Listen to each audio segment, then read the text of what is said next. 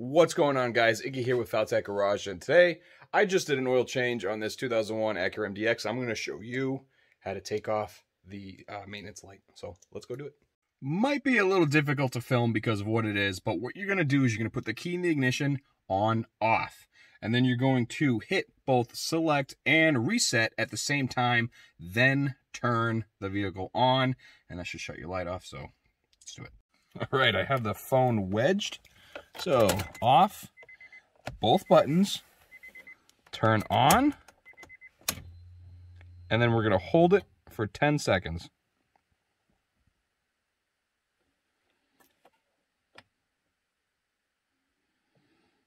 There it is. And there you go. Maintenance light is off. Now, don't forget to record your mileage and uh, set a reminder for the next time you have to do a oil change on your vehicle.